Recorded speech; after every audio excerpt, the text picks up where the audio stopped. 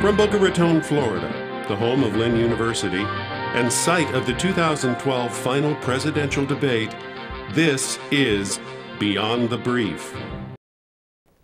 Welcome, everyone. This is Beyond the Brief. I am Fernando Arias. And I am Gabriela Regalado. Last weekend, the 50th anniversary of Lynn University was celebrated and many events took place, which today we will be informing you about. But first, we have a very special story for you.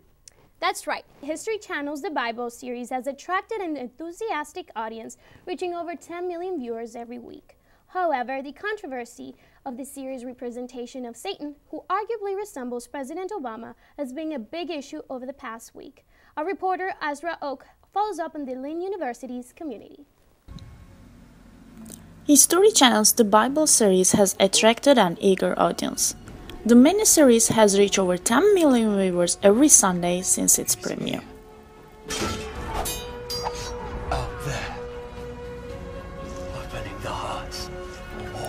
However, the controversy over the adaptation of Satan resembling President Obama has been a big issue over the last week, which has been reflected by a drop in its ratings. We follow up with the Lynn community. Have you watched the Bible miniseries? Yes, I have. I've watched the Bible miniseries. What do you think about the Bible series? I think uh, it's a great new show uh, that just came out on History Channel. Very entertaining, very educative. Uh, it gives you a clear perspective of what the Bible represents. How much influence on the viewers? Um, I believe the Bible uh, has had uh, much effect on the viewers. Um, according to uh, the ratings, there have been many, many viewers throughout the last weeks. Um, you know, breaking records compared to other very um, uh, known TV shows.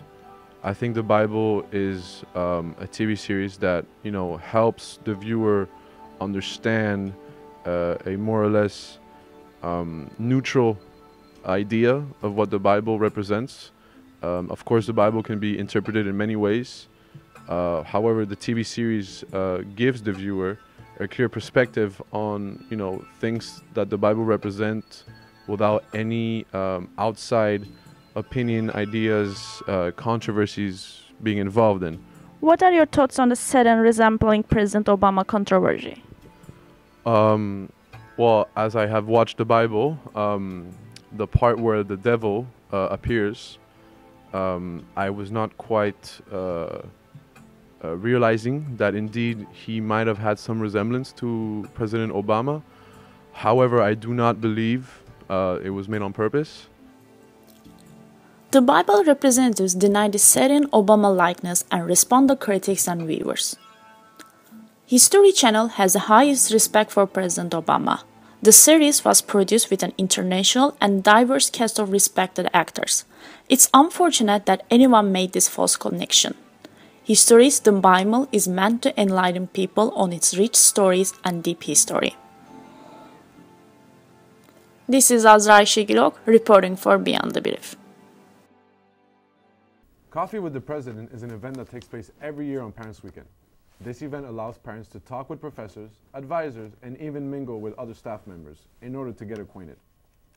Faculty, staff, students, and parents got the chance to talk to President Ross. Matt Peppers has a story.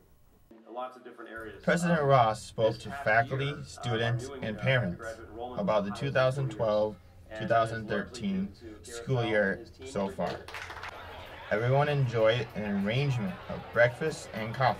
President is a tradition that we have every year um, on Parents Weekend, but because we put a Parents and Alumni Weekend together, we decided to still keep it because we wanted to uh, gather parents with faculty members so they can ask any questions they have, also to hear about our 50th anniversary, and we wanted to also have a good time and uh, share a little bit about the debate for those who could not visit with us. Students weighed in on thoughts of breakfast with the president. It was very good. It was including, you know, the alumnus as well as giving credit to the students um, on the debate. But more, more importantly, I have to say that I like the vision that's coming here to Lynn. You know, it's not a um, idle university, but it's more or less we're looking to expand in every every aspect of the university. And what did you think of the breakfast? Uh, the breakfast was great. You know, it was definitely a good networking tool, not only just for a student coming here, but also as well as you know to meet the alumni, as well as you know see our our president in action. So.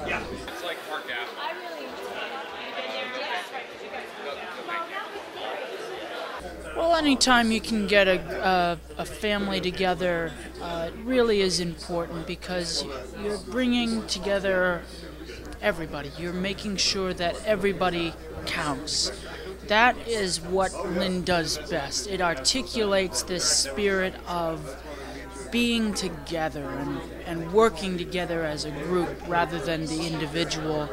That we are a family and that we're moving in the right direction. I think that's what I took away from this breakfast. President Ross discussed the University Commons, which is the next big project on campus. After the Bobby Campbell Stadium and the uh, International Business Center, that's our we're setting our sights on that as our next major project.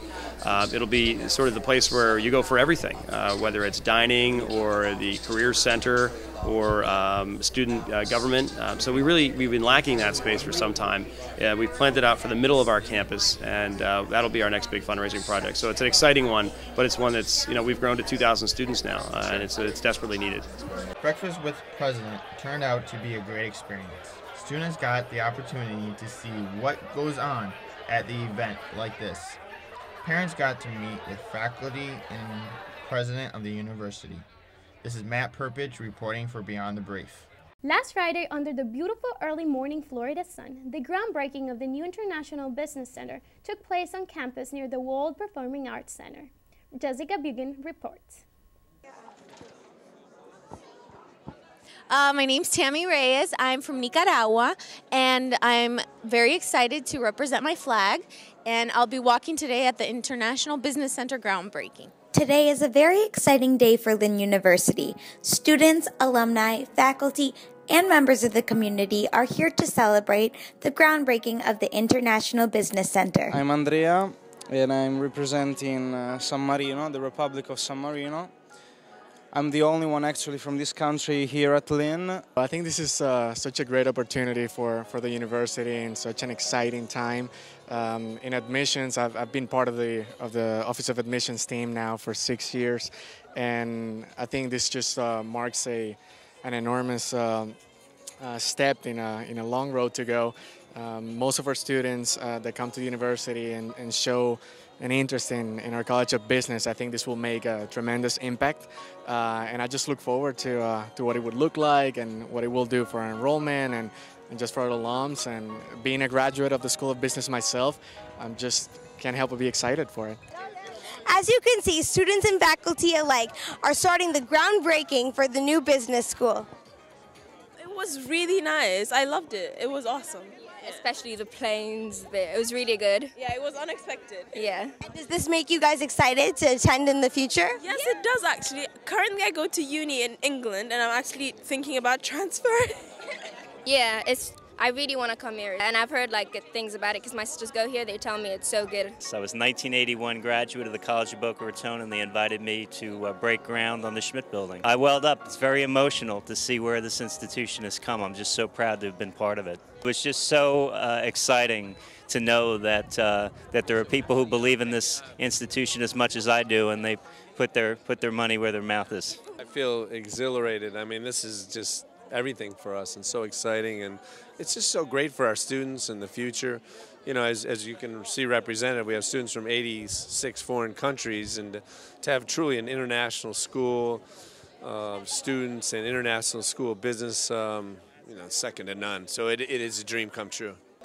Um, my name's cliff bowman. I'm with gensler uh, and i'm based in new york We've been working with Lynn, uh, actually started back in uh, 2008. We started working on the master plan. This building is part of the master plan vision, and we've been working on the building for the last uh, about seven months. The building is being set for uh, uh, to be as flex flexible as possible, and because of the nature of the business uh, teaching changes uh, year to year from from curriculum to curriculum. So we've provided lots of collaboration spaces for students to work together. We've provided lots of uh, you know a full Wi-Fi uh, system inside the building, uh, lots of opportunity to use your iPads in the in the building, and there's different types of spaces for uh, students and, and faculty to engage in. It's amazing, and I think I took it as an opportunity. Uh, when they called me, they said Aldo, you were chosen to carry the flag of Haiti, I took it as a privilege because you know uh, this is a very this is a large international community here. So for my country to be represented, that was that was amazing. This morning I had to go to work. I canceled my work to come here. That's amazing. It is for me. So it says it all. Today was a significant day for Lynn University, not only for the campus, but also for the future educational opportunities. It was an inspiring event with a flag procession, speeches by major donors, and even a surprise from the aviation community. We are all in much anticipation for the International Business Center. This was Jessica Bugan from Beyond the Brief. Following the groundbreaking ceremony, Lynn University hosted a cocktail party for staff, alumni, and current students to celebrate Lynn's 50th anniversary and future success to come. Missy Montgomery reports. Lynn University kicked off its 50th anniversary celebration by hosting a cocktail party for staff, alumni, and current students. Guests had to register online in advance or out the door in order to attend. The attire was formal to semi-formal. In attendance was President Ross, who made a speech retelling the story of how Lynn was founded. Guests mingled outside and inside the party, sharing stories of their favorite memories and experiences at Lynn.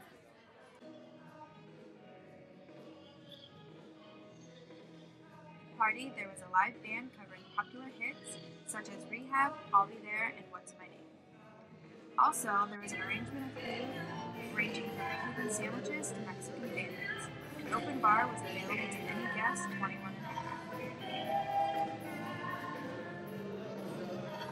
A dance floor covered the center of the room with Lynn's 50th anniversary logo. Throughout the evening, a slideshow of past and present pictures of Lynn's students and faculty was displayed on two projector screens. This is Missy Montgomery reporting for Beyond the Brief. That's all for today. We hope the coming month of April will fill us with as many fun and exciting events on and off campus as this month of March has. Be sure to check us out on the IPL social media networks on Facebook and Twitter. I am Fernando Arias. And I am Gabriela Regalado. And this is Beyond the Brief. Have a great week.